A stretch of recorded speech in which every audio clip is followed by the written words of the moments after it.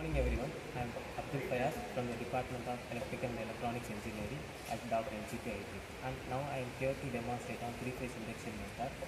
Depends upon the rotor, it consists of two types, slip ring induction motor and squirrel cage induction motor.